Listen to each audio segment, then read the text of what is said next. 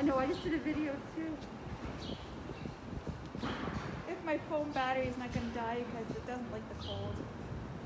Do it from the other side looking in so you can see all the flowers in the background. Oh, oh. Oh, sorry.